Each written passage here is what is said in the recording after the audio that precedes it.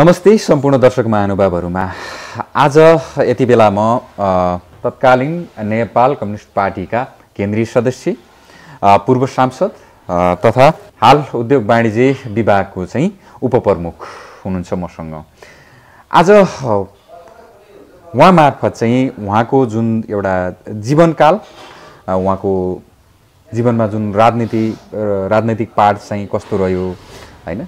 जीवनकाल कस्तो रह्यो उहाँ पूर्व चाहिँ माओवादी जब यो द्वन्द्वकाल थियो त्यति बेला पनि उहाँको अहम रोल थियो जुन शान्ति प्रक्रियादेखि ल्याएर यी कुराहरूमा चाहिँ उहाँको अहम भूमिका थियो।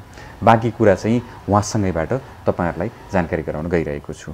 सर नमस्ते। नमस्ते। आरामै हुनुहुन्छ? आरामै। कसरी बितिरहेछन् आजभोलि हजुरका दिनहरू? ठिकै छ पार्टी एकता भइसकेपछि कामको चाप कम छ त्यसै भेटघाट यताउति र छ पार्टीको काम थोरै छ त्यही छ। ए अहिले चाहिँ ए यस्तै गरी दिनहरू कटिरहेका छन्। म लगायत जति पनि दर्शक महानुभावहरू हुनुहुन्छ उहाँहरूले चाहिँ एक्ज्याक्टली वामदेव छेत्री भनेको को हो भनेर चाहिँ बुझ्न खोजिरहनु भएको हुन्छ। अहिले चाहिँ ट्वेन्टी फर्स्ट सेन्चुरी सबै चाहिँ इन्टरनेटतिरै डिपेन्डेन्ट हुने जमाना आइसक्यो होइन? त्यो भएको कारणले गर्दाखेरि तपाईँको बारेमा सम्पूर्ण दर्शक महानुभावहरूलाई चाहिँ बुझाउनु पर्नेछ सुरु गरौँ। तपाईँको बाल्यकाल जुन थियो त्यो कहाँ बित्यो?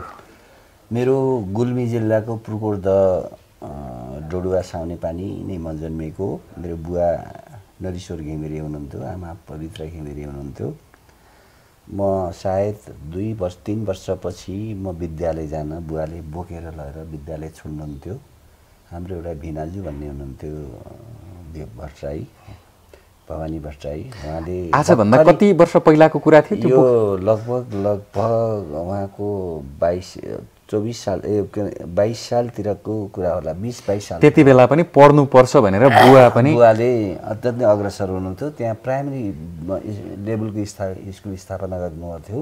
भवानी प्रसाद भन्ने मैले नाताले भिनाजु पर्ने उहाँले बोकेर लैजानुहुन्थ्यो मलाई। त्यो याद छ मलाई। हजुरआमाले चाँडै चाहिँ तयारी गर्ने र बोकेर जाने गर्नुहुन्थ्यो। म धेरै दिन स्कुलमा एउटै समकक्षी टाइपको उमेरका भएकाले खेल्ने रहरले पनि म बढी जान्थेँ त्यहाँ। पढाइ त कहीँ कमै हुन्छ के हुन्थ्यो र एक दिनको घटना मलाई बडा स्मरण आउँछ। त्यहाँ भवानी प्रसादले आफै पढाउनुहुन्थ्यो। भवानी प्रसादले मलाई हप्काउनु भयो। हप्काएपछि म स्कुल त गएँ। स्कुलदेखि पालतिर एउटा गोठ थियो हाम्रो काइला बुढुबा भनेको। रात दिनभरि गोठको पछाडि बसेँ म। स्कुल गइनँ ठिक्क स्कुलबाट छुट्टी हुने बेलामा म घर आएँ। घर आइसकेपछि भवानी प्रसाद पहिले आएर बसिसक्नु भयो रहेछ। उहाँले आज यो स्कुल गएन कहाँ गयो के गर्यो भनेपछि हजुरआमाले मलाई गाली गर्नु हो दम्काउनु कहाँ कहाँ गएको थिइस् के हो यो भन्नु भनेपछि मैले डर लागेर यथार्थ कुरा बताएँ। र त्यसै हिसाबले मैले पाँच कक्षासम्म धराचौर प्रावि स्कुलमा पढेँ मेरो मेरो शिक्षा पा पाँच क्लाससम्म त्यही नै भयो। त्यसपछि पुर्कोट दह जनजाति हाई स्कुल थियो त्यो हाई स्कुलमा म आठ क्लाससम्म पढेँ आठ क्लाससम्म मात्रै थियो त्यहाँनिर? त्यहाँ आठ क्लाससम्म मात्रै थियो। आठ कक्षा पाइसकेपछि बुवा अत्यन्त शिक्षा प्रेमी हुनुहुन्थ्यो। त्यहाँको विद्यालय स्थापनामा नि उहाँको भूमिका थियो। उहाँले छोरालाई पढाउनु पर्छ भनेर पुरन पानी भनेको खेत बिक्री गर्नु उहाँले। हजुरलाई पढाउनको लागि चाहिँ खेत नै बिक्री गर्नुभयो? बिक्री गर्नुभयो र मलाई ठाडा हाई स्कुल त्यो पनि अमर ज्योति हाई स्कुल थियो। हाई स्कुल पढ्न पठाउनु भयो मैले दुई वर्ष त्यहीँ पढेँ र मैले त्यो बेला स्कुलको अत्यन्त अभाव थियो। तौली हावाबाट एसएलसीको परीक्षा दिएँ मैले। त्यो बेला पनि थोरै समस्या परेको थियो। परिवारभित्र भनौँ अब बुवाले अस्वस्थ पनि हुनुहुन्थ्यो र कान्छा बुढोबाको छोरा तुलसी घिमिरेसित सँगै बसेर म पढ्थेँ। सम्झौता कस्तो रहेछ भने एक वर्ष मेरो खर्चले विद्या मेरो पैसाले बाउ छोराले पढ्ने अर्को वर्ष उहाँहरूले मलाई पढाउने भनेर भन्ने निदो रहेछ। उहाँहरूले अर्को वर्ष मलाई पढाउनु भएन। म बुट कपिल वस्तुको महाराजगञ्ज गएर पनि पढेँ। पछि मैले कोतौरीवाला परीक्षा दिएँ। एसएलसी पास त गरेँ मैले।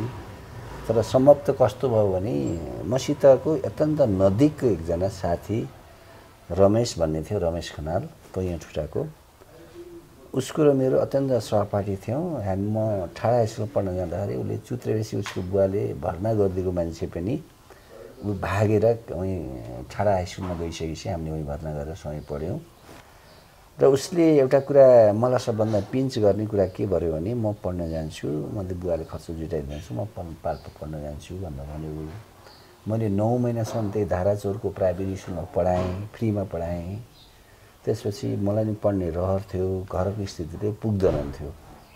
म पढ्ने कहाँ जाने होला भनेर म पढ्ने खोजीमा हिँडेँ। पहिले म कलकत्ता बिहारको जमसेदपुरमा गएँ।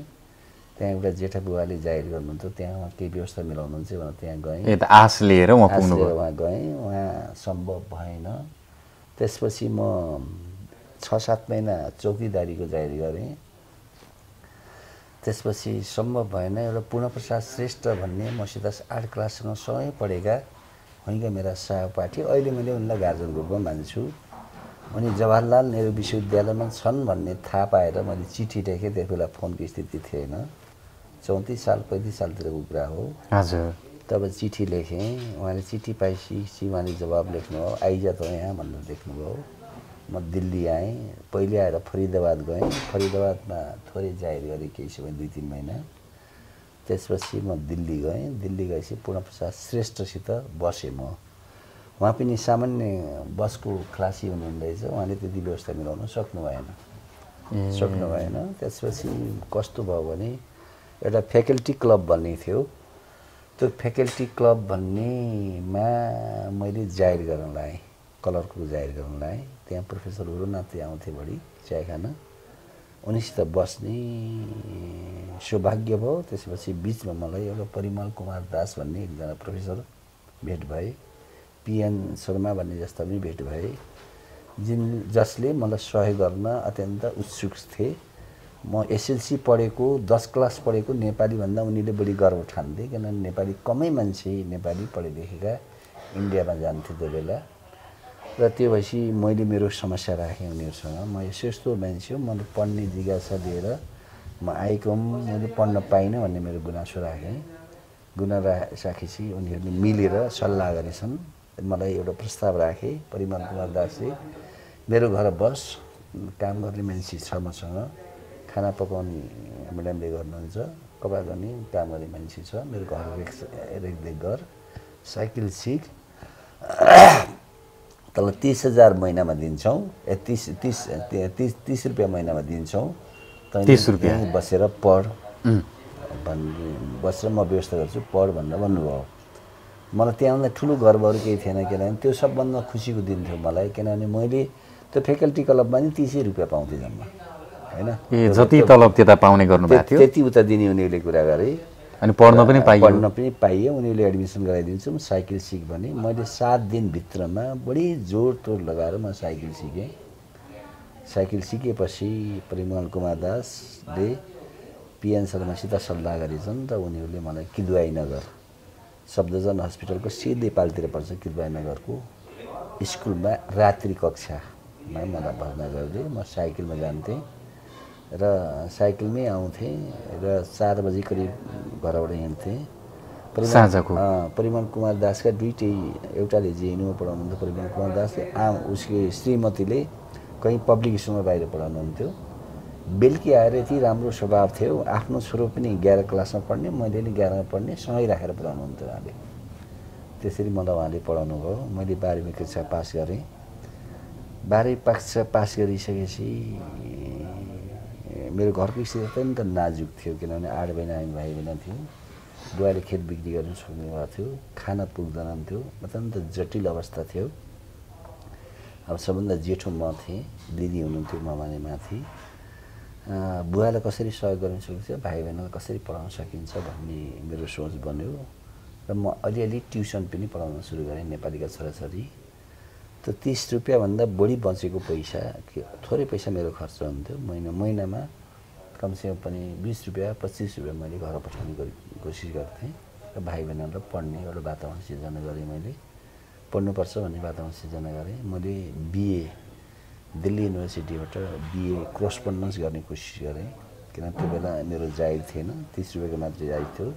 तिनीहरूले एउटा हेल्प अर्को पनि गरेँ मलाई। म घर आएको थिएँ। त्यो बेला त्यहाँ मेसमा त्यहाँको स्टुडेन्टले खाना खाने मेसमा एउटा भेकेन्सी निक्लिएर रहेछ। उनीहरूले अप्लाई गरिदिएछन् म गएँ इन्टरभ्यू दिएँ म त्यसमा सिलेक्सन भएँ। सिलेक्सन भइसकेपछि त्यो बेला तलब एक सय सत्तर बहत्तर रुपियाँ करिब पाउने भएन।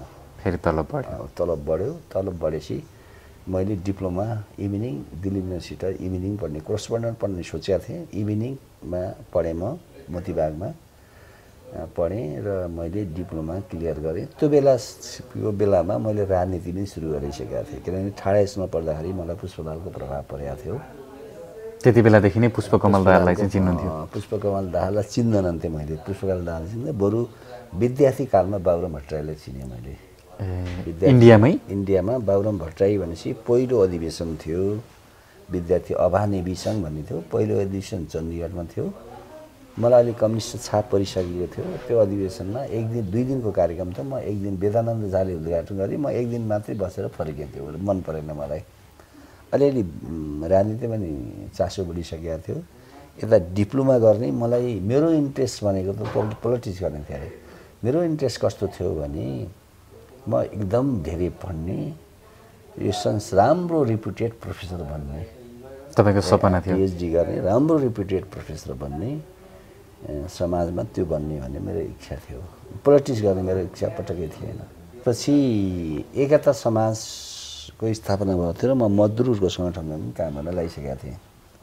उतातिर राजनीति गर्ने यतातिर पढ्ने र ट्युसन पनि पढाउने।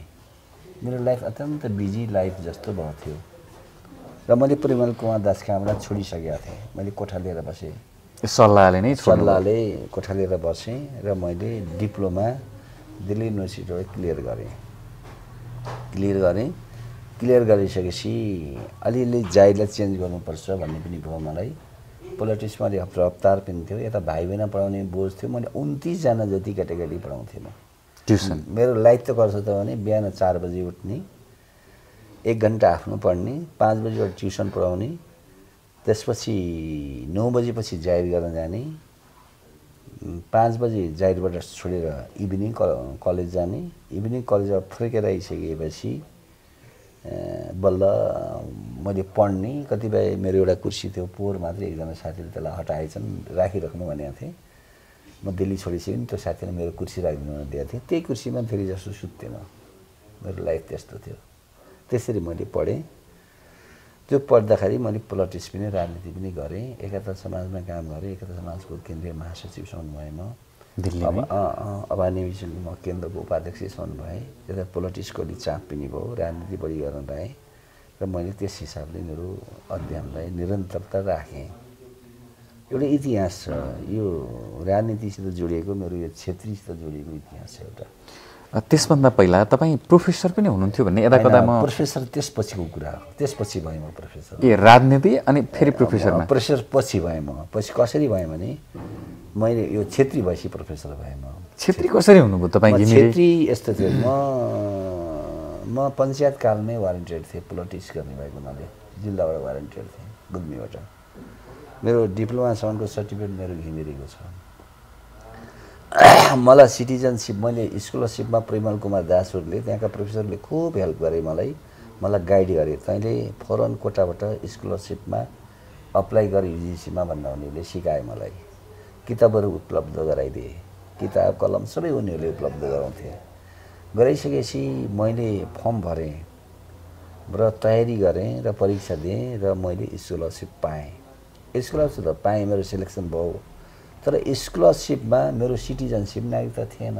मलाई अप्ठ्यारो पऱ्यो नागरिकता बिना मैले त्यो स्कलरसिप पाउने स्थिति बनेन। भनेन अब नागरिकता बनाउन घर जाउँ जिल्लामा जाउँ फेरि एरेस्ट गरिहाल्छ कि पनि डर थियो स्थिति त्यो थियो। किनभने म सालको राजनीति गर्थ्यौँ हामीले चर्को रूपको राजनीति थियो त्यो बेला होइन? चर्को थियो। म घर पनि लुकी छिपी जाने गर्थेँ। धेरै बस्दैन हुन्थेँ दुई तिन दिन बस्ने तिन चार दिन बस्ने फर्किने गर्थेँ। त्यसपछि युवराज भूषाल कपिल वस्तुमा एलडिओ थिए। कुलचन्द्र श्रेष्ठ त्यहाँको सिडिओ थिए। कुलचन्द्र श्रेष्ठको साथी छोरा लिएर मैले दिल्ली युनिभर्सिटीमा सँगै पढ्थ्यौँ। उसले मलाई सुजेस्ट के गरेको थियो भने मेरो बुवा हुनुहुन्छ सिडिओ त्यहीँबाट बनाउनु नागरिकता भन्ने कुरा गरेको थियो र हामी गयौँ। कपिल वस्तुमा मेरो केही थिएन। त्यो बेला मैले चौध कट्ठा पनि जग्गा किनिसकेको थिएँ त्यहाँ।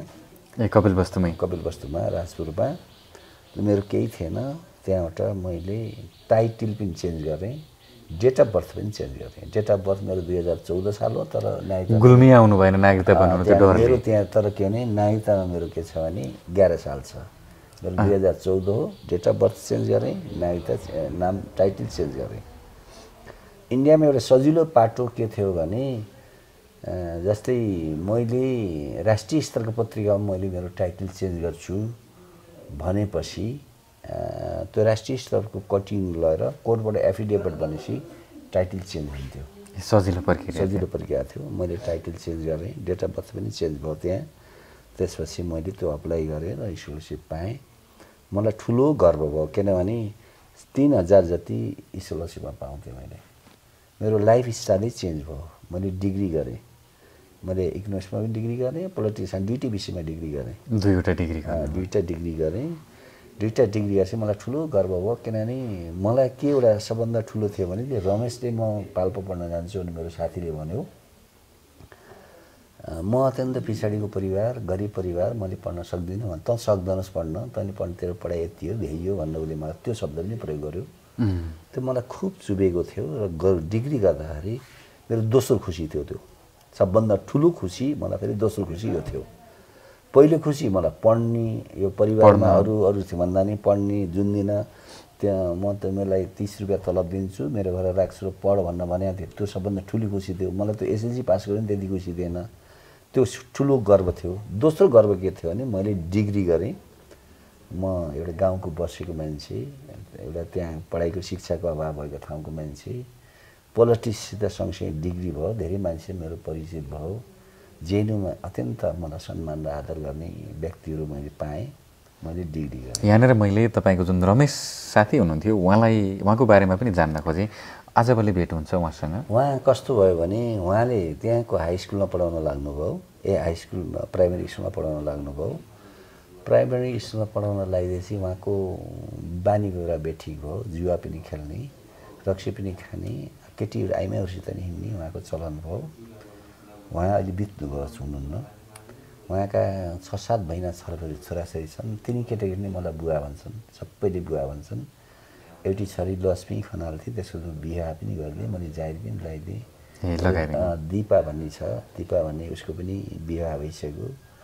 अब भरत खनाल मलाई अत्यन्त रेस्पेक्ट गरेर उसले बुवा भन्छ मलाई। आफ्नो बुवा भनेर मान्छन् केटाकेटी।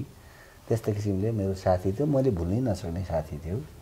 त्यस्तो भयो। पछि बिपिच बिचमा भेट हुन्थ्यो म डिग्री गरिसकेपछि ऊ पछुताउँथ्यो मैले गल्ती गरेँ। मैले पढ्न पश्चाताप। गर्नुभयो उहाँले। मैले पढ्न पनि सकिनँ। त बरु पढिस् राम्रो मान्छे भइस् राजनीति पनि गर्छस् तपाईँ डिग्री सकाइसक्नुभयो दुई दुईवटा सब्जेक्टमा। त्यसपछि जुन राजनीतिमा पनि हुनुहुन्थ्यो त्यति बेला त्यहाँ राजनीति एकता समाज भन्ने थियो एकता समाजको केन्द्रीय सदस्य भइसक्यो केन्द्रीय सदस्य भइसकेका थिएँ। पछि म केन्द्रीय सचिव बने। बयालिस सालमा बाबुरामजीले पिएचडी गर्न जिएनयु जानुभयो। अब पहिले स्कुल अफ प्लानिङमा हुनुहुन्थ्यो। उहाँ चण्डीगढ आउँदाखेरि त्यति राम्रो थिएन मसित। हजुर। स्कुल अफ प्लानिङमा गएपछि उहाँ विद्यार्थी सङ्गठनसँगै बसी बाबुरामसित मेरो सङ्गत भयो। धेरै उठ्ने बस्ने सँगै बस्ने बाबुरामको विवाह पनि हामीले गरिदियौँ। यसैलाई हामीसित सबैसित साथी थिए धेरै विष्णु गुरुङहरू धेरै त्यस्ता साथीहरू थिए एकता समाजको कारणले धेरै फराकिलो वातावरण बनाउनेहरू त्यसपछि बयालिस सालमा बाबुरामले पिएचडी गर्न जिएनयु जानुभएको थियो र लगभग चार पाँच वर्ष सँगै बसियो भनौँ पारिवारिक रूपमा सँगै बसियो र एकदम घनिष्ठ मित्रता भयो र भइसकेपछि बयालिस सालमा फर्किनु भयो बयालिस सालमा फर्किनु त्यो बेला मैले पिएचडी गर्ने भन्ने तयारी थियो मेरो उहाँले एउटा सजेस्ट के गर्नु भने अब जनताको पिएचडी गर्ने हामी जनताको मान्छे भइसक्यौँ राजनीति गर्ने मान्छे हौँ। त्यो बेला भर्खर मसाल फुटेको थियो मोटो मसाल र पातलो मसाल फुटेको थियो। हामी मोहन विक्रमको मसाललाई मन पराउँथ्यौँ। किनभने मोहन विक्रम उहीँ गएर बसेँ मेरै कोठामा बसेँ दुई वर्ष मन पराउँथ्यौँ। त्यही भएर मोहन विक्रमको मसालमा हामी लाग्यौँ। र त्यो भएर म होल टाइमर भएँ जस्तो भएँ। म यता पढाइ सिद्धिएको उता जाहिर पनि नभएको। होल टाइमर जस्तो भएँ। बाबुरामजी यता आउनुभयो नेपालतिर। मैले केही समय होल टाइमर विद्यार्थी सङ्गठनमा एकता समाजमा काम गरेँ। त्यसपछि बल्ल मैले पढाउन सुरु गरेको। प्रोफेसर लेक्चरर त्यसपछि भएँ म। बिचमा खाली हुनुभयो? खाली भएँ। त्यो बेला त्यो बेला संजोग कस्तो पऱ्यो भने मसित मलाई हेल्प गर्ने परिमल कुमार दास पनि रिटायर भइसकेका। मेरो पनि डिग्री कम्प्लिट भएर राजनीतिबाट नि उता भइसकेको हो। पिएचडी गर्ने स्थिति पनि नबनेको मेरो। अब त्यो बेला के भने साउथ दिल्ली पब्लिक क्याम्पसमा परिमल कुमार दासले पनि पढाउने अर्थशास्त्र पढाउँथे। उनी डिन जस्ता म लेक्चरर जस्तै एउटीमा पढाइमा हुन्थे।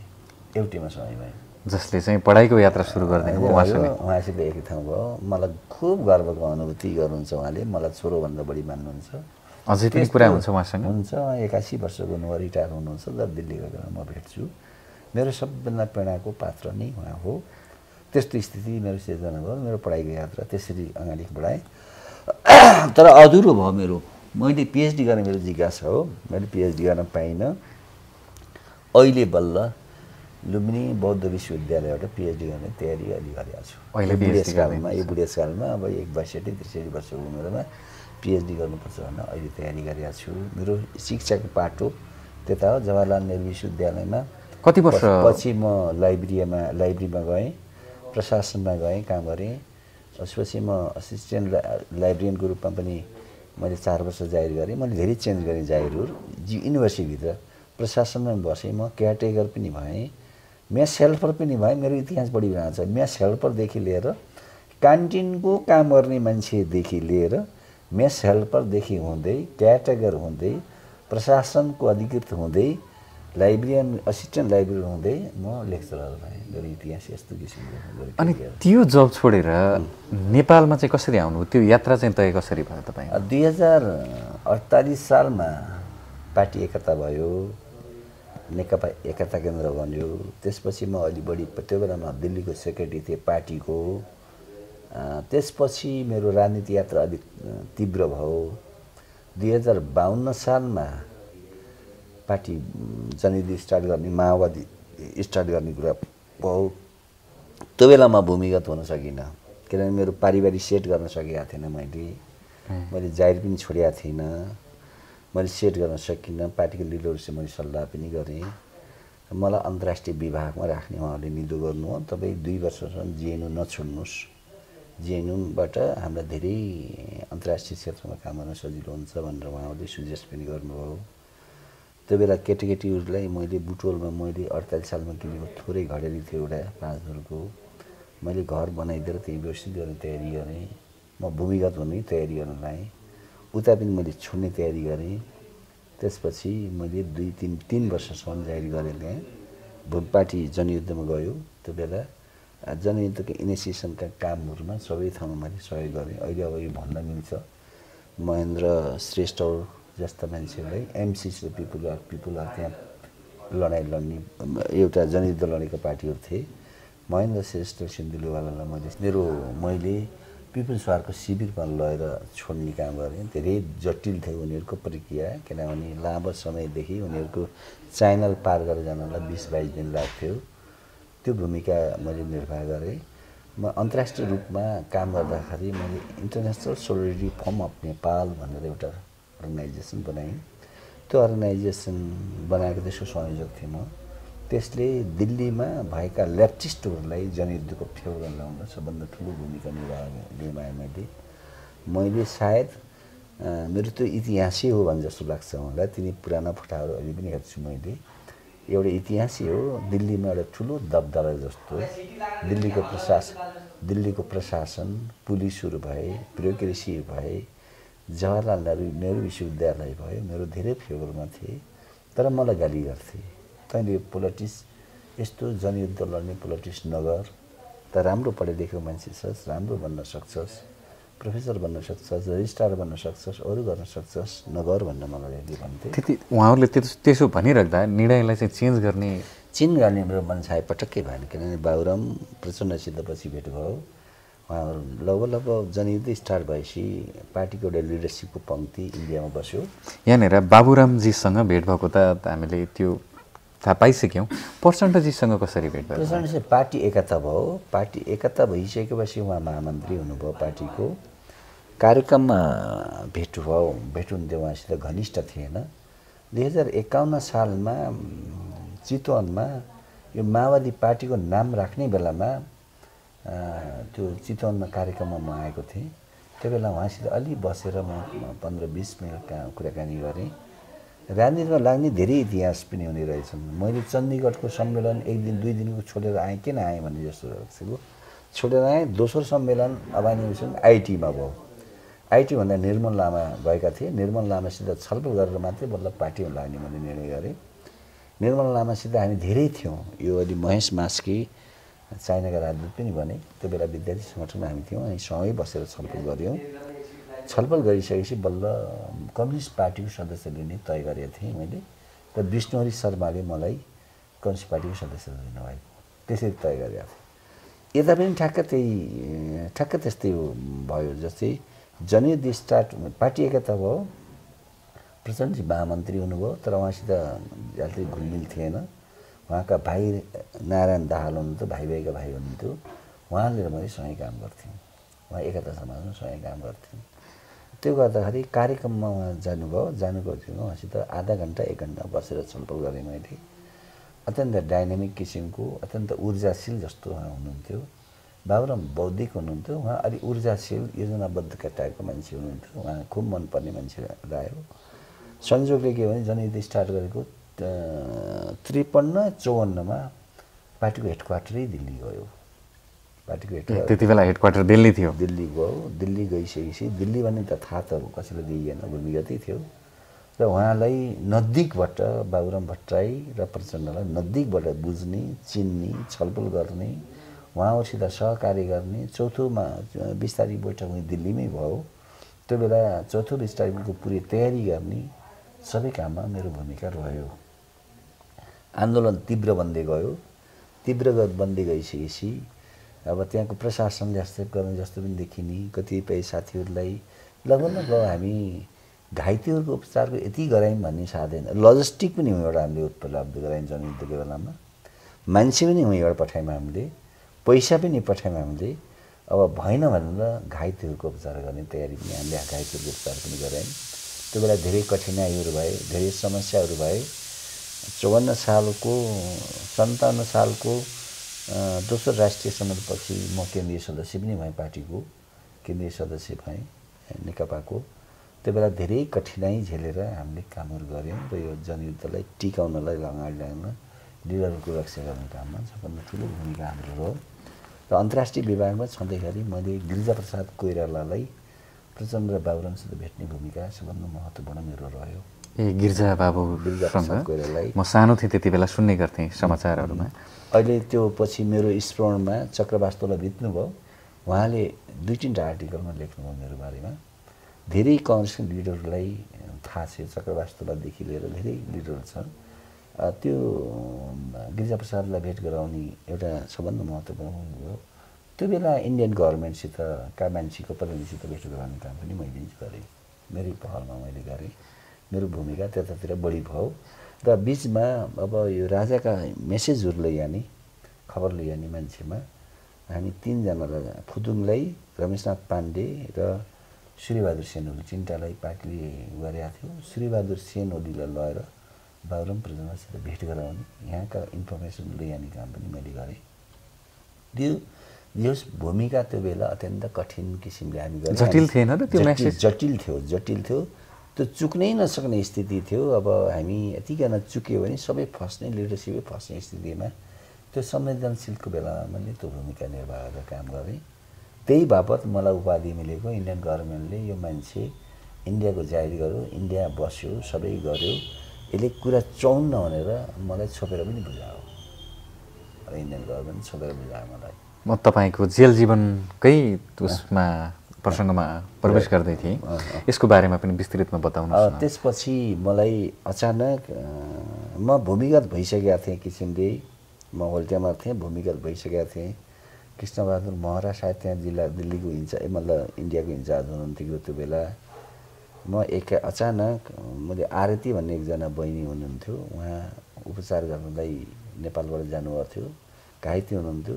धेरैचोटि जानुहुन्थ्यो उहाँ मेरै कपिल बस्तुको हुनुहुन्थ्यो मेरै घरमा बढी बस्नुहुन्थ्यो उहाँ। बाहिर बस्न मन पराउनु हुनुहुन्थ्यो। म भाउजूसितै बस्छु भन्नुहुन्थ्यो। उहाँ आएको मेसेज मैले कतिवटा पाएँ किनभने बिचमा मैले फोन चलाउन सुरु गरेका थिएँ घरको परिवारबाट पाएँ। तर एउटा राम्रो के पनि थियो भने पुलिसभित्रैबाट मलाई सतर्क गराउँथे है तपाईँको फोन ट्याप भएछ तपाईँ पछि निगरानीमा हुनुहुन्छ तपाईँ सचेत हुनुहुन्छ है भनेर दिल्लीका पुलिसहरूले मलाई सचेत गराउँथे। तैपनि म संजोग कस्तो बन्यो भने मैले त आरती लाइन भेट्छु। म बसबाट लोचेर हात फ्र्याक्चर भएको थियो मेरो प्लस्तर बनाएको थिएँ। आरती लाइन भेट्छु र प्रोफेसर मुनिस राजालाई नै भेट्छु भनेर म जिएनयु क्याम्पसमा आएँ। म जिएनयु क्याम्पसमा बस्न छोडिसकेको थिएँ बाहिरै थिएँ म। त्यहाँ आएँ त्यहाँ आइसकेपछि पुलिसले निगरानी गरिरहेको रहेछ। म घरभित्र नै आएँ आरिसित थोरै कुराकानी गरेँ नआएर खाना खाएर निक्लिन्छु भन्ने बेला पुलिस झापझुप चाह्यो आयो छोप्यो छोप्यो उनले सिधै भन्यो मैले चिनेको एसपी थियो एसएसपी थियो त्यो असिस्टेन्ट पुलिस कमिसनर थियो। उसले मलाई भन्यो म माफी चाहन्छु सरकारको अर्डर हो मैले केही गरिदिन सक्दिनँ। भन्यो मेरो खुट्टा पनि छोयो उसले बिचरा। र मलाई अप्ठा अन्यथा नठान्नु होला तपाईँले भन्यो। त्यसपछि मलाई लिएर गयो। त्यो लिएर गइसकेपछि उनीहरूले लोधी रोडमा दुई घन्टा गरी राखे होला त्यसपछि तुरुन्त मलाई हिँडाल्यो। हिँडालेर मलाई महेन्द्रनगर ल्याएर छो सुपुर्ति गर्यो। ए तपाईँलाई इन्डियाको जेलमा चाहिँ राख्दै राखेन राखेन राखेन इन्डियाका त सङ्घर्षको बेला विभिन्न पटक जेल गइयो इन्डिया बस्यो। अरू त्यहाँकै अरू केसमा। अरू केसमा सङ्घर्षमा यही नेपालको आन्दोलनसित रिलेटेड आन्दोलनमा राजाका विरुद्धमा आन्दोलन गर्ने एमएसी गर्ने सारा गर्नेमा धेरैचोटि जेल इन्डिया गइयो। दुई दिन चार दिन बस्न छुट्टी गरियो। त्यसपछि उसले यो मलाई एरेस्ट भइसकेपछि मलाई लगेन ए महेन्द्रनगर लिएर छोड्यो। मलाई ल्याएर नेपाली पुलिसलाई बुझायो। नेपाली पुलिसले मलाई नेपालगञ्ज ल्याएर ने राखे बेलुकी। राखेपछि बेलुकी बस्न दिएँ खाना पनि दिएँ नराम्रो व्यवहार होइन त्यसलाई मैले मान्दिनँ। सुत्न दिएँ बस्न दिएँ त्यसपछि सोचबुझ गरेँ मलाई केही। उनीहरूले त्यहाँको उपचारको बारेमा घाइतेहरू जो बरेलीमा उपचार त्यसको बारेमा बढी सोधपुछ गरे तिनीहरूले मलाई हतियार सप्लाई गर्ने बारेमा बढी सोझे मलाई तिनीहरूले। अब इन्डियन गभर्मेन्टसित भेटघाटको कुराहरू बढी सोध्यो तिनीहरूले मलाई। गिरिजा प्रसादलाई भेटेको कुरा बढी सोध्यो तिनीहरूले मलाई। मेरो मुखबाट केही फुत्किनेवाला थिएन। त्यसपछि उनीहरूले के गरे भने हेलिकप्टर चार्टर गरेर मलाई काठमाडौँ ल्याए। काठमाडौँ कुन जेलमा बस्नुभयो तपाईँ? काठमाडौँ जेल भनेपछि मेरो आँखा पट्टी त्यहीँबाट बाँध्न सुरु गरियो। नेपालगञ्जदेखि? नेपालगञ्जदेखि। त्यसपछि कहाँ ल्यायो भन्ने कुरो थिएन। सेनाको ब्यारेक हो या सशस्त्र ब्यारेकमा ल्याए तिनीहरूले मलाई बाइस दिनसम्म राखे र केरकार गरे। केरकार गरे। कस्तो किसिमको व्यवहार हुने गर्थ्यो त्यति बेला? त्यो बेला म पार्टीको लिडर हुँ भनेर उनीहरूले बुझेका भएको हुनाले मसित त्यस्तो अभद्र व्यवहार त्यहाँ भएन। त्यो झुट बोल्नु हुँदैन मलाई अभद्र व्यवहार भएन। त्यो बाइस दिनसम्म उनीहरूले केरकार गरे राम्ररी केरकार गरे। अरू साथीहरूलाई कुटपिट पनि गरे सबै चिज गरे। मलाई त केरकार बाइस दिनसम्म गरेन। बाइस दिनपछि इन्डियन गभर्मेन्टको प्रतिनिधि सिबिआईले नै होला सायद त्यो यहाँको गभर्मेन्टले अरू गरे होला भने जस्तो लाग्छ। इन्डियाको प्रतिनिधि आएर मलाई लगेर सोध्न लायो। सोध्न लगायो उनीहरूले। त्यहाँबाट उसले उसलाई मैले बेसी झा पारेँ। म नेपाली सिटिजन हुँ नेपालको बारेमा सङ्घर्षमा म लागेको छु। म माओवादी हुँ केन्द्रीय सदस्य पनि हुँ होइन? मैले तैँले भनेर मैले तँलाई जवाब दिनु पर्दैन। मैले जवाब दिन्न तँलाई त मेरो सिटिजन छैन मेरो अधिकारी मान्छे त्यहाँ होइन यहाँका पुलिसले प्रशासनले सोध्छ जे सोध्छ जो हुन्छ मैले बोल्नु भन्न सक्ने कुराहरू म भन्छु भन्ने कुरा गरेँ। उसलाई हप्काएँ। त्यो हप्काउनुको असर मेरो परिवारलाई पर्यो दिल्लीमा। मेरो परिवारलाई टर्चर गरे यहाँका पुलिसहरूले टर्चर गरे। केही पुलिस पोजिटिभ थिए सहयोग गरे। केही पुलिस नेगेटिभ थिए उनीहरूले टर्चर गर्यो। मेरो परिवारलाई टर्चर गरे।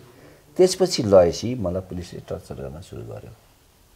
अलिक टर्चर गर्यो। टर्चर गर्ने दम्काउने हम्काउने पिट्ने अब विभिन्न तरिकाले गर्न लाग्यो। तर एक हप्तापछि एउटा खै मलाई यसो हेर्दाखेरि अहिले यो अहिले योभन्दा पहिले रिटायरका डिआइजी मध्येको कोही इन्सपेक्टर थियो कि भन्ने जस्तो लाग्छ मलाई। त्यो के राई भन्ने तिनी हुन् कि भन्ने जस्तो लाग्छ। तिनी अहिले बाबुराङको पार्टीमा भएपछि तिनी बाबुराङ पार्टी आए। तिनले मलाई धेरै सोचपुछ गरे अहिले। तपाईँ खुब खुब दुःख पाउनु हो यसरी बस्नु तपाईँ कस्टडियामा बस्नु हामी सहयोग गर्न सकेनौँ। के के भने तिमीले गर्दा तिनै रहेछ नि भन्ने मलाई अलि अनुभूति हुन्छ। त्यसपछि मलाई बाइस दिन त्यो भयो र सात आठ दिन मलाई टर्चर गर्यो। टर्चर गरिसकेपछि मलाई हनुमान ढोका ल्याए। हनुमान ढोका ल्याएपछि त कस दुई सय तिन सयजना साथी थिए त्यहाँ। त्यहाँ त म पार्टीको लिडर भएँ। यो ओम शर्माहरूदेखि लिएर पत्रकारहरू पनि सबै त्यहीँ जेलभित्र। त्यहाँ ठुलो हल्ला खल्ला गरेँ। हल्ला खल्ला गरेँ। एक थरी बाइसजना मान्छे त्यहाँ उगाडीका भ्रष्टाचारमा फँसेको मान्छेलाई पल्लोपट्टि राखेको रहेछ। यतातिर ठुलो हलमा माओवादी सबै राखेको रहेछ अरू बन्दीहरू पनि थिए। यो यो भ्रष्टाचारीलाई हटा हामीलाई त्यहाँ ठाउँ दियो भन्दा आन्दोलन गरेर रहेछन् त्यहाँ। म गएपछि चाहिँ लिडर आएपछि उनीहरूको ठुलो हौसला बढ्यो। तर के गर्यो भने प्रशासनले मलाई रातारात त्यहाँबाट अन्त ल फेरि त्यहाँबाट पनि सारे अन्त लयो अन्त अहिले बल्ल कहाँ लहरहेछ भन्दा चाहिँ गङ्गाको लहरहेछ अहिले थाहा पाउँछु मैले। गङ्गाको। गङ्गाको। गङ्गाको लहरहेछ गङ्गाको लगेर पुरै कोठा खाली गरेर यदि ठुला कोठामा। मलाई लगेर एउटै कोठामा राख्यो पुलिसको व्यवहार मलाई नेगेटिभ लागेन राम्रो गरे मलाई त्यहाँका पुलिसले। एउटा हाम्रो धादिङको के सिंह हुनुहुन्छ सिंहको भान्जी हुनुहुँदो हाम्रो पार्टीको मोहन के के विक्रम सिंह हुनुहुन्छ। उहाँको भान्जी हुनुहुन्छ पुलिसमा त्यहाँ हवलदार हुनुहुरहेछ उहाँले मलाई आउने सोध्ने दाई मैले के हेल्प गर्नुपर्छ म फलानुको भान्जी हुँ भन्ने पुलिस अनि मैले उहाँलाई चिठीले एउटा मेरो चिठी पुऱ्याइदिनुहोस् भन्दा भने। किन त्यो बेलासम्म म सार्वजनिक रूपमा कहाँ छु भने थाहा थिएन। ए पार्टीलाई पनि थाहा थियो पार्टीले पनि कसैलाई थाहा थिएन त भूमिका मतलब पार्टीले ल्याएर लुकाएको थियो नि त। म त्यही उनपचासजनासित सँगै परिसकेको परेको थिएँ नि त म त। यो उनपचासजना जो माऱ्यो नि त्यो उनपचाससित म सँगै थिएँ। त्यसपछि त्यो बहिनीले मैले एउटा चिठी लेखेँ मलाई एउटा पेन का पेन र कागज उपलब्ध गराइदिनुहोस् भन्ने उनले उपलब्ध गराइन् ल्याएर कता कताबाट ल्याइन् लुकाएर ल्याइन्। मैले चानो चिकटको लेखेँ भाइलाई मेरो यहाँ चन्द्र पाण्डे भन्ने अर्याजी हो थमेलमा बस्थ्यो। त्यसलाई चिठी दाई फलानु ठाउँ जेलमा हुनुहुन्छ नातिनी भन्ने दिल्ली खबर गरिदिनु पऱ्यो र पद्मरत्न तुलाधरलाई यिनीहरूलाई भनिदिनु पऱ्यो भनेर भने। तुलाधरले खा खबर पाइसकेपछि मेरो दिल्ली परिवारमा खबर गरेँ बाबुरा मोरलाई खबर गरेँ सबैलाई खबर गरेँ जिउँदैछन् अझै मारेका छैन। त्यस्तो स्थिति थियो जिउँदै हुनुहुन्छ अझै मारेका छैन। तर कस्टडीभित्र हुनुहुन्छ ठाउँ खुलाएन उनीहरूले नि भन्दा भने। त्यही बहिनीले खुब हेल्प गरी मलाई। धेरै हेल्प गरे त्यसले। हेल्प गरी मलाई पुलिसले माया गर्थे। एउटा इन्सपेक्टर थियो नाम अहिले त्यस याद आएन। तपाईँले यहाँको डिएसपीसित माग गर्नुहोस्। पत्र पत्रिका पढ्नु पाउनुपर्छ म राजनीति भन्नु भन्नुहोस्। तपाईँको आँखापट्टि खोलिन्छ भन्नु भन्थ्यो त्यसले मलाई। मैले त्यो डिएसपीलाई थर्काएँ। अब बाँचिन्न भन्ने थिएन अगर मरिन्छै भन्ने थियो। मार्छ भन्ने थियो। के नै सिधै झुक्नु पऱ्यो भन्दा बिहानी बिहानी गरेर तपाईँलाई मैले छलफल गर्ने कुरा गर्न छ भने म पोलिटिकल बन्दी हो। म अपराधी होइन। मैले कसैलाई मारेर आएको होइन। केही गरेर आएको होइन। मसँग मेरो म प्रति मुद्दा जति भए पनि मलाई त्यहाँ अपरा अप्ठ्यारो छैन। मलाई बाँच्नु पनि यो तपाईँहरूको झुकेर बाँच्नु पनि छैन। म राजनीति भन्दै मैले पत्रिका पढ्नु पाउनुपर्छ भनेर झगडा गरेँ। मैले माथि आदेश नगरिकन सक्दिनँ सर। सर सर भन्दै मलाई। सर सक्दिनँ भन्दै त्यसपछि माथि आदेश गरेछ। के गरेछ? दुई तिन दिनपछि मलाई पत्रिका दिन ल पत्रिका ल्याएपछि मैले आँखापट्टि बाँधेर मैले पत्रिका पढ्दिनँ। पट्टि खोल्थेँ पत्रिका पढ्न जाने भने पट्टि खोलिदिन्थेँ मैले सबै पत्रिका पढ्थेँ। त्यस्तो सम्मान गरेँ। यो दिनभरि नै पट्टी बाँध्ने। पट्टि दिनभरि रातभरि सुतेको बेला नि पट्टि बाँध्ने हुन्थ्यो। राति त अब सुतेपछि खोल्ने यसो खोलेर कोठा हेरिदिन्थ्यो यताउति हेरिदिन्थ्यो पुलिसले निगरानी गर्नुहुन्थ्यो। दुइटा पुलिस बसेका हुन्थ्यो त्यहीँ। र तिनलाई कन्भिन्स गरेको थिएँ मैले। उनीहरूले खोल्नु सर। बाई न यताको नखोल्नुहोस् यताबाट आँखाबाट यता माथि तान्नुहोस् भन्नुहुन्थ्यो तिनीहरूले। त्यसो गरेर हेर्थेँ मैले त्यस्तो गरेर कस्टडीमा अनि रियाई चाहिँ कसरी भयो? म भन्छु त्यसपछि मलाई त्यहाँ तिन महिना राख्यो। तिन महिना मेरो परिवारले जिउँदै हुनुहुन्छ भन्ने थाहा पाएँ। फेरि हनुमान ढोका ल्यायो मलाई। हनुमान ढोका ल्यायो हनुमान ढोका ल्याइदिएर के गर्यो भने हनुमान ढोका ल्याइसकेपछि अब त्यो आन्दोलन सुरु गरे त्यहाँका बन्दीहरूले। र त्यो यो देवी भण्डारीहरूदेखि थिए सुनिल मास्केहरू थिए तिनीहरूलाई बचाएर तिनवटा कोठा राजनीति बन्दीहरू दिने दुईवटा कोठा अपराध तिनीहरूलाई बच्चालाई दिने भन्ने निर्णय मैले गराइदिएँ त्यहाँ खाना खाने कम्बल सम्बल दिने व्यवस्था गर्ने। यज्ञ विनय पोखरेल अहिले पनि छन् एसपी वर्ष एसएसपी वर्ष मलाई सबभन्दा धेरै सहयोग तिनले गरे पुलिसमा। तिनले मेरो घरसम्म चिठी पठाइदिने मेसेज पठाइदिने सबै गरे उनले दिल्लीमा। तिनी अहिले मेरो अत्यन्त प्रेरणादायक पात्र छन् त्यो भए किन मेरो छोरो पनि डिप्रेसन भयो त्यही कारणले उनी श्रीमती पनि डिप्रेसन रहेछन् तिनले त्यही कारणले पनि धेरै हेल्प गर्यो भन्ने लाग्छ आफ्नै शिरमाथि त्यो धेरै हेल्प गरे तिनले मलाई। मैले अलि पनि भुल्न सक्दिनँ भेट्छन् मलाई अहिले पनि। मैले तिनको कुन त तिरेँ केही गरेर होइन म माओवादी पछि आइसकेपछि तर त्यसरी मैले जेल जीवन बिताएँ त्यसपछि मुद्दा लगायो मुद्दा लगाइसकेपछि पचास पचपन्नवटा मुद्दासम्म भन्ने थाहा पाएको थिएँ। तपाईँको नाममा? अँ त्यसपछि मलाई नखु जेल चलान गर्यो त्यसपछि चौध महिना गरी जेलमा बसेँ म। जेल जेलमा जेलको प्रशासन भएर बसेँ म। सुरु सुरुमा त कसैले टेरेन माओवादी त्यहाँ धेरै थियौँ हामी। पछि अब जेलरले पनि मसित सल्लाह नगरिकन निर्णय गरेर काठमाडौँ जेलभित्रको। बन्दीहरूले खुब मान्थे मलाई त्यो अरू बन्दीहरूले पनि खुब मान्थे मलाई। म त्यहाँको नेतै भएर बसेँ। त्यो सेक्सनको पुरै जेलको नेता भएर बसेँ। प्रशासक जस्तो भएर बसेँ। मलाई भेट्न आउँदाखेरि बाहिरी जेलरले बाहिर ल्याएर आफ्नो क्याबिनमा लगेर भेट गराउँथ्यो। भेट्न धेरै मान्छेहरू जान्थे मलाई। त्यस्तो स्थिति थियो। त्यो स्थितिबाट ठ्याक्क के भने दोस्रो वार्तामा बाबुराम भट्टराईहरू जो वार्तामा हुनुहुन्थ्यो हापुरीको वार्तामा केन्द्रीय सदस्यलाई नछोडिकन हामी वार्तामा बजाउँ भनेर पार्टीले माग गऱ्यो गर्दाखेरि हामी तिनजना मोहराम खनाल म र रविन्द्र श्रेष्ठ तिनजनालाई रातारात छोड्यो हामीलाई त्यसरी हामी कहाँनिर लगेर छोड्यो तपाईँहरूलाई? लगेर पद्मरत्न तुलाहरू लिएर लिन भनेर गएको थिएँ उहाँहरूले लिएर आउनु हामीलाई पद्मरत्न तुलाधरको घर एक रात बसेँ त्यसपछि आज पार्टीको सम्पर्कमा गइहालेँ म। त्यसपछि फलो गर्दैनथे फलो गरेन त्यो बेला किनभने त्यो वार्ताको कुरा थियो त्यो भएर फलो गरेन। त्यसपछि म पार्टी सम्पर्कमा गएँ। पार्टी सम्पर्कमा गइसकेपछि दिवाकर कमरेडसित मेरो पहिलो भेट भयो। अहिले बित्नुभएको दिवाकर कमरेडसित। उहाँसित भेट भएपछि पश्चिम कमान्डको इन्चार्ज हुनुहुँदो रहेछ त्यो बेला उहाँ। मेरो पार्टी सिसी के अरे जेल पछि सिसिएम निलम्बित भयो। मेरो पार्टी सिसिएम बहाली भयो। मलाई पश्चिम कमान्डमा विशेष क्षेत्र रोल्पा रुकुम यो गुल्मी अरेखाँची म्याग्दी बागलुङको एउटा विशेष क्षेत्र थियो प्युठान उसको विशेष क्षेत्रमा मलाई कार्यविभाजन गरेर पठाइयो। म फेरि विशेष क्षेत्रमा गएँ र लगभग तिन वर्ष उनपचास पचास उन्साठी साठी एकसट्ठी भइसक्यो चार वर्षमा विशेष क्षेत्रमा बसेर काम गरेँ। अभियानमा त म गण्डक प्रदेशमा पनि आएँ। पश्चिम सुदूरपश्चिमको उसमा पनि गएँ। तर म तिन महिना त्यो मैले खास चार वर्ष मैले विशेष क्षेत्रमा नै बिताएँ। त्यो बेला म गुल्मीको बागलुङको मेग्दीको इन्चार्ज भएर मैले बिताएँ। त्यसपछि चाहिँ शान्ति प्रक्रिया पनि भयो। अझ यसभन्दा पहिला मैले के जोड्छु भने तपाईँको परिवार त दिल्लीमा हुनुहुन्थ्यो तपाईँ यता जेल जीवन काटिराख्नु भएको थियो। उहाँहरूलाई कस्तो किसिमको टर्चर दिएको थियो भनेर अत्यन्त मैले त्यो पुलिसको जो हाकिम थियो सायद दिल्ली पुलिसको नभएर सिबिआईको हुनुपर्छ त्यो त्यसलाई मैले हप्काएपछि मेरो परिस पुलिस मेरो परिवार दिल्ली नै थिए। दिल्ली अत्यन्त दुःख पाएँ। एउटा गुनासो पनि छ पार्टीसित मेरो। त्यो बेला बाबुराम भट्टराईले त भेटेँ पार्टीले खासै त्यस्तो वास्ता गरेन। जबकि मेरो घरमा कोही त्यस्तो पार्टीको लिडर हुनु होला जो मेरो घरमा भात नखाएको होला। मेरो मेरो श्रीमती भात नखाएको कुनै पनि लिडर छैन होला। प्रचण्ड मेरो कोठामा नगए पनि अन्त कोठामा खाना पुऱ्याएर पकाएर खुवाएको मेरो श्रीमती हो। त्यस्तो पीडित बेलामा मेरो ठुलो चाहिँ छोरो बाह्रमा पढ्थ्यो त्यो अलिक डिप्रेसन जस्तो भयो त्यसले त्यो देखेर। सानो चाहिँ आठमा पढ्थ्यो उसलाई पनि अलिअलि याद त भएन तर उसको पढाइ पनि पास मात्रै भयो बिग्रियो। एसएलसीमा राम्रै पास गर्न सकेन ठिकै हिसाबले पास गरेर फर्स्ट डिभिजन दा फर्स्ट डिभिजन इन्डियामा ठुलो कुरो थिएन। त्यो बेला बाबुराम भट्टराईले भेटेर पैँतिस हजार गरी पैसा दिनुभयो रहेछ सहानुभूति प्रकट गर्नुभयो रहेछ। तर अरू नेताहरूले त्यति राम्रो गरेनन् भन्ने मेरो गुनासो पार्टीभित्र नै रहेपछि त्यसपछि बरु त्यहीँको स्टाफहरूले जेएनयुको स्टाफहरूले प्रोफेसरहरूले सबैले हेल्प गरे। मैले सरकारी मकान पाएको थिएँ। सरकारी मकान छोड्नु पऱ्यो मेरो परिवारलाई।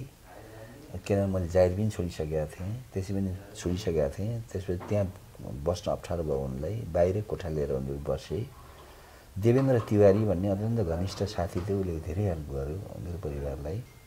र उनीहरूले केही पैसाहरू कन्ट्रिब्युट गरेर पनि दिएर रहेछ त्यहाँको युनियनले। म किनभने कर्मचारी युनियनको महासचिव पनि थिएँ म। उपाध्यक्ष पनि थिएँ। टिचर्स प्रोफेसर प्रोफेसर हो टिचर हो विद्यार्थी र कर्मचारी ठुलो लोकप्रिय थिएँ म। त्यहाँ सहयोग गरेँ र भयो सरकारबाट पाउने प्राइभेट फन्ड थियो मेरो। तिनजनालाई तिनवटा छोराछोरी मेरो मेरो नभएर मेरो तिनवटा छोराछोरी मेरो दुईवटा छोरा र मेरो श्रीमतीमा पैसा निकालेर ट्रान्सफर गर्दैछन्। केही युनिभर्सिटीले सहयोग गर्यो र दुई वर्ष तिनीहरू त्यहाँ बिताए। मेरो छोरो सानो चाहिँ छोरो बाह्रमा पढ्ने बेलामा उनीहरू एकसट्ठी सालमा मेरो बुटोलको घर थियो। त्यो बेला जनयुद्ध स्टार्ट हुन्छ भन्ने बेला घर बनाइसकेका थिएँ सानो सानो घर बनाएको थिएँ। पाँच घरमा तिनवटा कोठाको। त्यो म जेल पर्नुभन्दा पहिले मैले पार्टीले सम्पत्ति बुझाउने भनेको थिएँ। मैले पार्टीलाई बुझाइसकेको थिएँ त्यो घर। पार्टीले बुझाइसकेको घर के हो भने त्यहाँ साथीहरूले अफिस जस्तो राख्नुभएछ सप्लाई विभाग राख्नुभएछ जिलेटिनहरू राख्नुभएछ सबै चिज राख्नु चाहिँ टङ्कमणिहरू भयो बल्दीहरू यिनीहरूले। त्यो बहादुर आइले त्यहाँको इन्चार्ज थिए सेनाले त्यहाँबाट धेरै एरेस्ट भए र सेनाले त्यसलाई ताला लगायो। ब्लास्टिङ गरेछ ब्लास्टिङ जिलेटिङको ब्लास्टिङ गरेछ मेरो घर सबै भत्किएको थियो। एकसट्ठी सालमा केटाकेटीलाई अलिक अप्ठ्यारो पऱ्यो दिल्लीमा बस्न नसक्ने स्थिति भयो खर्चले धान्न सक्ने स्थिति पनि भएन पार्टीले नि हेरविचार त्यति गरेन। अनि एकसट्ठी सालमा मेरो श्रीमतीले छोरालाई लिएर आएछ सानो ठुलो ठुलो छोरालाई। त्यो के जोशी हुनुहुन्थ्यो कि अवस्थी के हुनुहुन्थ्यो सिडिओ हुनुहुन्थ्यो अरे त्यो बेला कृष्णप्रसाद पौडेल भन्ने एकजना भाइले खुब हेल्प गरेछन्। त्यो बेला सिडिओसित गएर नि झगडा गरेछ मेरो श्रीमती र सेनासित नि गएर झगडा गरेछ। मैले पोलिटिक्स गर्दिनँ। मेरो छोराले नि गर्दैन। म यो अवस्थामा छु। श्रीमानले राजनीति गरे पनि जिजी गरे पनि मेरो घर खोलिदिनु पऱ्यो। म मेरो घरभित्र बस्छु। तपाईँले बरु वाच गरेर बस्नुहोस् न मलाई। भन्नु छ पहिले त मेरो श्रीमती पार्टी डिसिएम हो दिल्ली छँदाखेरि त। तर मेरो छोरो डिप्रेसन भएपछि राजनीति छोड्यो अहिले फेरि पार्टीको त्यसै उसको वार्डको सदस्य पनि हो अहिले त फेरि पार्टीभित्र छ। तर त्यो बेला बिचमा ठ्याक्कै छोड्यो उसले म गर्दै गर्दिनँ भनेर छोड्यो किनभने पार्टीको व्यवहार देख्यो सबै चिज देख्यो त्यस्तै देखेर नि होला। त्यसपछि सेनासित झगडा गरेछ सिडिओसित झगडा गरेछ। म धर्ममा बस्छु नत्र हिजो लिएर मर्छु के के भन्यो अब उसले जे इच्छा थियो सबै भन्यो। त्यहाँबाट सेनाले र पुलिस सिडिओले सल्लाह गरेछन् र घर खोलिदिए। ए, त्यसपछि? घर खोलिदिए। एउटा कोठा र टोयलेट अलिक व्यवस्थित गरेर राखेछ र अलिअलि वरपरका मान्छेहरूले त सायद उसलाई देख्दै डराउँथे। घरतिर कोही आउनुहुन्थे माओवादीको घर भनेर डराउँथे कोही आउनुहुन्थे त्यस्तो अवस्था थियो। त्यो अवस्थामा नै ऊ बस्यो त्यहाँ। भाइहरूले सहयोग गर्ने पाहाडबाट अलिअलि केही पैसा सैसा पठाइदिने खतरा सहयोग गर्ने गरे। छोरो बिमारी थियो त्यसको उपचार भएको त्यो अवस्था थियो र ऊ बस्यो। सानो छोरालाई दिल्लीमा मेरो साथीहरूले पढाइदिए। ऊ होस्टेलमा बस्न लाग्यो मेरो साथीहरूले पढाइदिए। आइटी इन्जिनियर पनि उनीहरूले पढाए मेरो छोरालाई। गाइड उनीहरूले गराए मैले यो पढाइदिनु भन्ने ऊ पढाइदिनु भन्ने गाइड उनीहरूले गरे उनीहरूले पढाइदिए पछि आइटी इन्जिनियर पछि एमबिए गरेर उतै बस्न खोजेको थियो। म शान्तिपुर यहाँ आइसक्यो भनेर उसलाई गएर जबरजस्ती मैले यता ल्याएर आएको नत्र ऊ आउने मनस्थितिमा थिएन। त्यस्तो स्थितिमा थियो। त्यो भएको हुनाले परिवारले दुःख त धेरै दुःख पाए धेरै कष्ट पाए। अब कतिपयले किन रातो साडी ल्याएर हिँडेको छ? तेरो श्रीमानलाई मारिदियो पनि भने कतिपय मान्छेहरूले त्यस्तोसम्म स्थिति पनि भयो दुःख धेरै कष्ट पाए। जो साहस गरे उनीहरूले हिम्मत गरे र सफल भए त्यसपछि शान्ति प्रक्रियामा आयो। शान्ति प्रक्रिया आइयो। शान्ति प्रक्रियाको पहिलो कालको अन्तरिम कालको म संसद सदस्य पनि भएँ। त्यो बेला इन्डियन गभर्मेन्टले मलाई केही पनि दिएको थिएन। मैले कमसेकम बाह्र चौध चौध वर्ष करिब जागिर गरेका थिएँ। छ वर्ष मैले स्टडी लिएर पढेका थिएँ पढेका थिएँ विद्यालय लिएर। पछि त्यहाँको प्रोफेसरले स्टडी लिभ पनि जोड्नुपर्छ। सर्भिसमा भन्ने कोर्टमा उ गरेका रहेछन् मुद्दा हालेका रहेछन्। उनीहरूले मुद्दा जिते मुद्दा जित्दाखेरि के भने मेरो पनि छ वर्ष जोडियो। बाह्र वर्ष। लक्की भयो म शान्ति प्रज्ञा आइसकेपछि त्यो बेला अमेश अहमद भन्ने मेरो अत्यन्त घनिष्ठ साथी रजिस्ट्रार भएको। त्यसपछि मलाई पढाएको प्रोफेसर भाइस चान्सलर भएका बिएन चड्डा। यता म सांसद सदस्य भएको। कस्तो मिल्यो संजोग। त्यहाँबाट यहाँबाट एउटा चिठी लेखाएँ दिल्ली गएँ एक हप्ता बसेँ सबै मेरा मुद्दाहरू त्यहाँका खारिज गराएँ त्यसपछि पेन्सन बनाएँ। र मैले बत्तिस लाख जति आइसी पाएँ त्यो आठ नौ वर्षको तल पेन्सन पनि पाएँ ग्रेजुटी पाएँ सबै पैसा पाएँ। यति पैसा पाएपछि टन्ने घर भन्ने जस्तो लाग्यो त्यहाँबाट ल्याएर बुटोलमा त्यो घर बनाएँ मैले। बुटोलमा घर बनाएँ मेरो इतिहास त्यस्तो। अहिले पनि इन्डियन गभर्मेन्टको पेन्सन पाउँछु। त्यसपछि तपाईँ चुनाव पनि लड्नु भयो पहिलो वर्ष मेरो इच्छा पुरा नभएको हुनाले पहिलो संविधान सभाको चुनाव मैले त्रिसठीमा लडिनँ। मैले अब यो सागर मसित दाई म चुनाव लड्छु। मलाई छोडिदिनुहोस् भन्ने कुरा गरेँ। र हुन्छ भनेर पनि बुझ्नु चुनाव लडिनँ। मलाई मेरो रूपन्दी एउटा सिफारिस थियो तिन नम्बर क्षेत्रबाट। म चुनाव लड्दिनँ भनेर म पिएचडी गर्न जान्छु भनेर मैले सोचेँ। अब यो दुई तिन वर्षपछि फेरि संविधान बनिहाल्छ। त्यसपछि राजनीति गर्नुपर्दा पिएचडी गर्ने सोख पुरा गर्छु भन्ने कोसिस गरेँ। बाबुरामसित सल्लाह पनि गरेँ प्रधानमन्त्रीसित सल्लाह पनि गरेँ त्यसपछि चुनावमा लडिनँ। चुनाव लडे पनि फेरि उहाँहरूले जान दिनु भएन। म फेरि कृषि विकास ब्याङ्कको अध्यक्ष भएर बसेँ त्यसो गरेँ मैले दोस्रोमा बल्ल सडसठीको चुनाव ए सत्तरीको चुनावमा बल्ल चुनाव लड्ने। त्यो तितो अनुभव भयो मलाई त्यो चुनाव। चुनाव कस्तो भयो भने हामी जस्ता मान्छेसँग प्रशस्त पैसा हुनु कि त मान्छेले भ्रष्टाचार गर्नु पऱ्यो केही गर्नु पऱ्यो त्यस्तै हुनु पऱ्यो त्यस्तै धन्दा गर्नु पऱ्यो हामीसँग प्रशस्त पैसा पनि नहुने। र त्यो भएको हुनाले चुनाव लड्न त म गएँ गुल्मी धेरै छोडिसकेको थिएँ मैले धेरै म रूपन्दी बढी बस्थेँ। त्यहाँ मेरो पार्टीको जिम्मा पनि थिएन। अब एक महिना पहिल्यै पार्टीले डिसिजन गरिदियो गुल्मी जान्छु भनेर। गएँ अब मेरो पुरा तयारी पनि थिएन साथीहरूसित त्यति तयारी पनि थिएन। तर मैले साठी सत्तरी लाख रुपियाँ सत्तरी लाख जति पर खर्च गरेँ जस्तो मलाई अनुभूति हुन्छ मेरो हिसाबमा। मैले चुनाव लडेँ त्यस्तो खर्चिलो चुनाव लडेँ र त्यो त्यो बेला देशीभरि हार्ने एउटा लहर रहेछ। माओवादी पार्टीले हार्यो। र यो हामीले जुन व्यवस्था ल्याउन खोजेका थियौँ यो नेपालमा जनवादी क्रान्ति गर्ने सङ्घीयता चुनाव प्रणाली यो सबै जो सोचेका थियौँ। त्यो उल्टो भए जस्तो मलाई अनुभूति भयो त्यो बेला। र यो चुनाव प्रणालीको सिस्टमको बारेमा हामीले ल्याएको संहिताको बारेमा। संहिता त केही मात्रामा थोरै भए पनि ठिकै ठिकै जस्तो लाग्छ। अहिले हेर्नुहुन्छ भने चुनाव दुई करोड तिन करोड पैसा नहुने मान्छे चुनाव लड्न सक्दैन। स्थिति त्यस्तो छ। त्यो भएर यो चुनाव प्रणालीलाई परिवर्तन गर्नुपर्छ चेन्ज गर्नुपर्छ। भन्ने पक्षमा छौँ। आवाज त उठिया छ पार्टीभित्र सम्पर्क चलिया छ। पुनः समानुपातिको नि हो भने पार्टी चुनाव लड्थ्यो। व्यक्ति चुनाव लड्दैन हुन्थ्यो भ्रष्टाचार कम हुन्थ्यो चुनावको खर्च निर्वाचनमा आएको पार्टीले दिए हुन्थ्यो कसैले मैले भोट हाल्दिनँ भने चाहिँ नो भोटको राइट पनि हुन्थ्यो सबै चिज हुनसक्थ्यो। त्यो चुनाव प्रणाली चेन्ज गर्नुपर्छ भन्ने पक्षमा हामी छौँ अहिले पनि। जुन चुनावी एउटा राष्ट्रपतिको कार्यकारिणी राष्ट्रपति बनाउनुपर्छ देशलाई पूर्ण समानुपातिक प्रणालीभित्र चुनावलाई ल्याउनुपर्छ भन्ने पक्षमा छौँ हामी। जति चाहिँ सङ्घर्ष बडो सङ्घर्षपूर्ण तरिकाले चाहिँ एउटा जीवनको यात्रा पनि तपाईँको सङ्घर्षपूर्ण रहेछ। र जुन यो जनयुद्ध कालमा चाहिँ एउटा जुन आन्दोलन थियो त्यति बेला पनि सङ्घर्षपूर्ण तरिकाले चाहिँ ठुलो कन्ट्रिब्युसन पनि रह्यो तपाईँको। अनि जेको लागि चाहिँ तपाईँहरू चाहिँ यो आन्दोलन गर्नुभयो यो जनयुद्ध चाहिँ हामीहरूले गरियो अहिले यो अवस्थामा चाहिँ जुन एउटा एम थियो त्यो चाहिँ हामीले एचिभ गरे जस्तो लाग्छ। दुईवटा पाटाबाट यसलाई हेर्नुपर्छ भन्ने जस्तो लाग्छ। एउटो हामी सशस्त्र जनयुद्ध लड्यौँ। हाम्रो कल्पना अरू छुट्टै किसिमको थियो। हामी यो देशमा जनवादी क्रान्ति गर्ने देशलाई समाजवाद उन्मुख बनाउने मतलब जनताहरूलाई गाँस बाँस कपासको ग्यारेन्टी गर्ने संहिताभित्र ल्याउने जाति वर्ग क्षेत्रको अधिकारलाई दिलाउने। त्यस्तो किसिमको हाम्रो सोच थियो। र हामी युद्ध त लड्दै गयौँ होइन?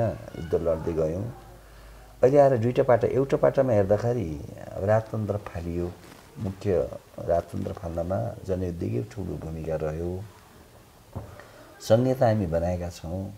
केही मात्रामा जाति वर्ग क्षेत्र लिङ्गले अधिकार पाएका छन् पाएका छन् र अहिले हेर्नुहुन्छ दलितको प्रतिनिधित्व राम्रो छ जनजातिको प्रतिनिधित्व राम्रो छ। जस्तै नगरपालिकामा हेर्नु गाउँपालिकामा एउटा मेयर वो मेयरमा त एकजना महिला छ होइन? त्यस्तो स्थिति छ। राम्रो एउटै थियो त छ तर पूर्ण अझै हुन सकेको छैन। कतिपय मधेसीहरूले उठाएका कुराहरू छन् जायज छन् जाति वर्ग क्षेत्रको कुराहरू छैनन्। त्यो कुरा अलिक अनकम्प्लिट छ कम छन् भन्ने कुरा लाग्छ। त्यसलाई संशोधन संविधान संशोधन गरेर परिमार्जित गरेर यसलाई व्यवस्थित लिएर जानुपर्छ। एउटा पाटो यो हो पोजिटिभ पाटो यो हो। नेगेटिभ पाटो के लाग्छ भने हामी जनयुद्ध लड्यौँ। त्यो बेला पार्टीको स्थिति के थियो भने पार्टीको सामान्य सदस्य पनि होल्टाम्रो हुनुपर्छ भनौँ भने हामीले गाउँघरबाट पढ्ने विद्यार्थीदेखि लिएर गाउँमा बसेका केटाकेटीलाई जनयुद्धमा हामी जब ल्याएर हेल्यौँ हामीले। सो विवेकपूर्ण पनि कहिले कहिले उनीहरूलाई फकाएर पनि हामी ल्यायौँ। कमसे त्यो सात आठ हजार दस पन्ध्र हजारको जमातको जो थियो त्यो त्यो अलपत्र भयो धेरै। केही मान्छे टाटाबाटा थिए। हामी जस्ता लिडरहरू माथि थियौँ। हामीले आफ्नो जीवनको गुजारा गऱ्यौँ। होइन?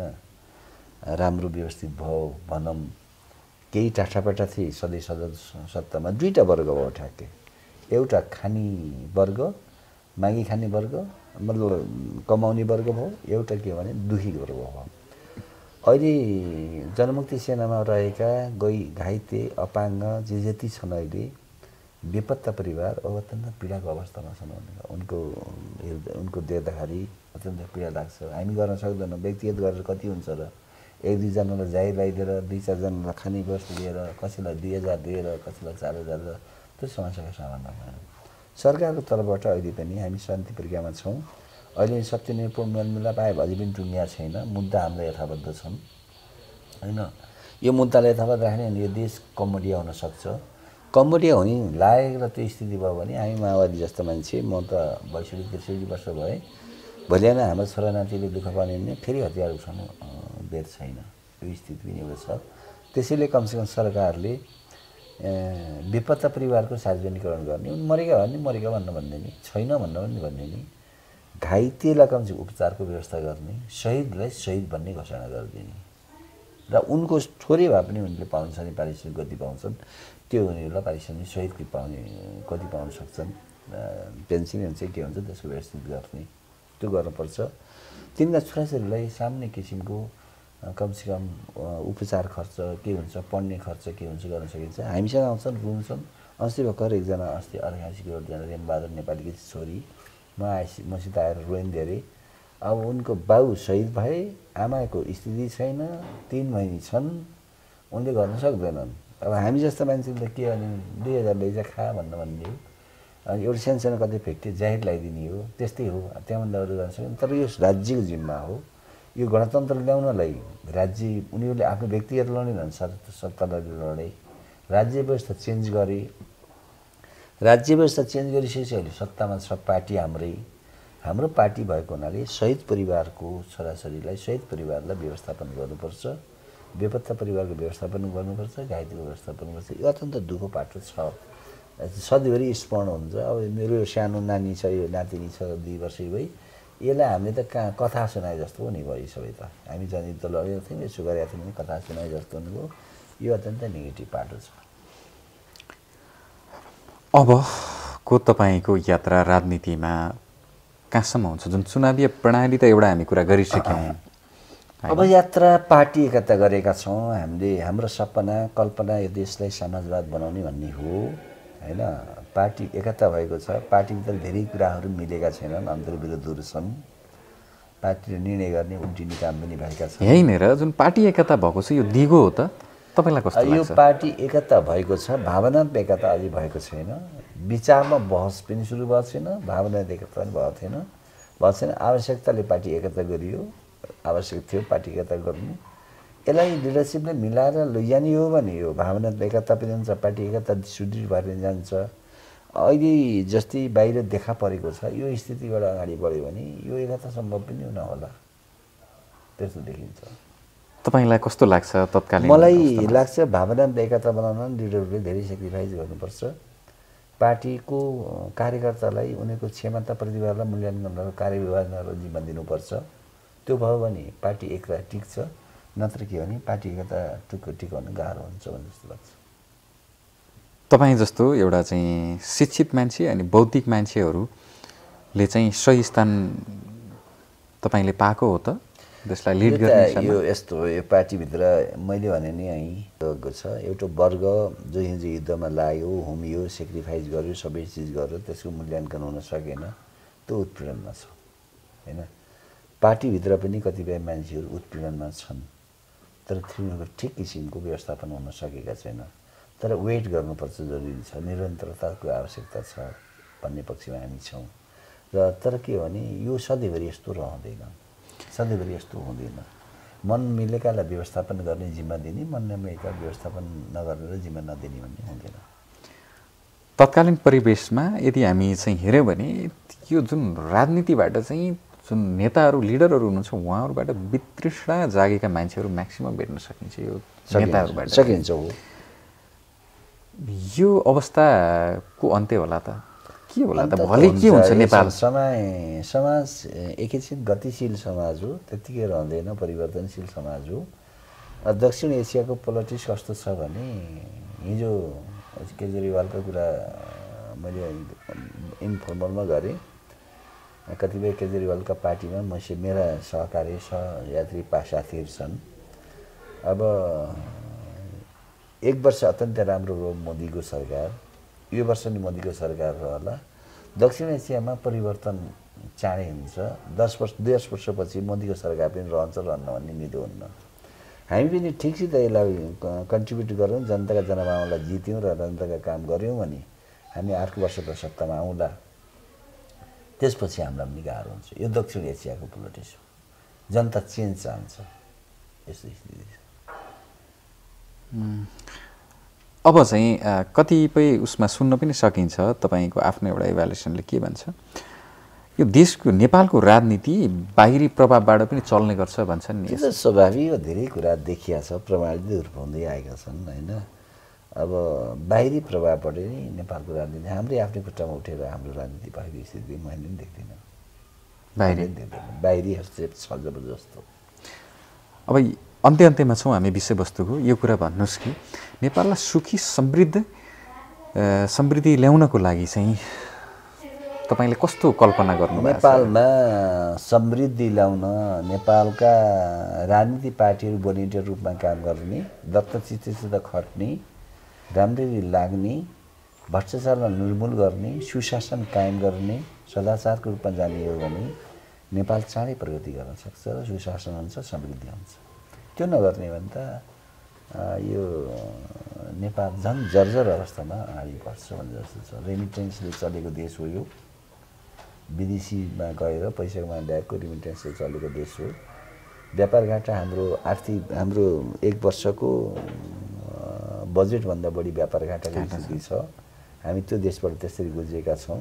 अहिले केही सूचकाङ्कहरू हाम्रो प्रगतिमा छन् भनेर भनेर पनि त्यति अर्थ लाग्दैन। र हामी के हो भने रोजगारको अवस्था सिर्जना गर्नु र नेपालीहरूलाई रोक्ने कोसिस गर्ने देशलाई औद्योगिकरण गरेर जाने सुशासनलाई व्यवस्थित गर्ने भ्रष्टाचार अन्त गर्ने नेताहरूले भोलिन्टियर रूपमा काम गर्ने मनस्थिति बनाउने हो। त्यो भयो भने यो देश समृद्धि हुन्छ। तपाईँको अब चुनावी प्रक्रियामा तपाईँलाई हामी देख्न सकिन्छ कि सकिँदैन? अब यस्तो चुनावी प्रक्रिया कि त दुई चार करोड पैसा हुन सक्नु पऱ्यो पैसा चुनाव लड्नुलाई। फेरि पार्टीले मूल्याङ्कन गरेर डिसिजन पनि गर्नु पऱ्यो टिकटलाई। दुईवटा कुरा हुनु अब पछाडि पछाडि गएर मर्यादै गरेर टिकट दियो भनेर पनि त्यसो पनि गरिन्न। होइन? क्षमता र प्रतिभा ठानेछ पार्टीले र टिकट दिएछ भने जनतामा चुनाव लडिन्छ होइन? नत्र चुनावै लड्नुपर्छ भन्ने छैन। यो सबै रङ्गमञ्च देख्दाखेरि बाहिरका कुराहरू सुन्दाखेरि दुई चार करोड करोड मागेर ल्याएर चुनाव लडेर फेरि त्यो मान्छेलाई पूर्ति गर्ने या भ्रष्टाचार गरेर त्यसलाई पूर्ति गर्ने त्यो पक्षमा म छैन। हस् त। त- तपाईँको जुन एउटा अमूल्य समय थियो त्यो समय म्यानेज गरेर दिनुभयो त्यसको लागि तपाईँलाई धेरै धेरै धन्यवाद। ल धन्यवाद। मलाई पनि मेरा सानो सानो विषयका कुराहरू राख्नु दिएकोमा तपाईँहरूको च्यानललाई पनि धन्यवाद। हस्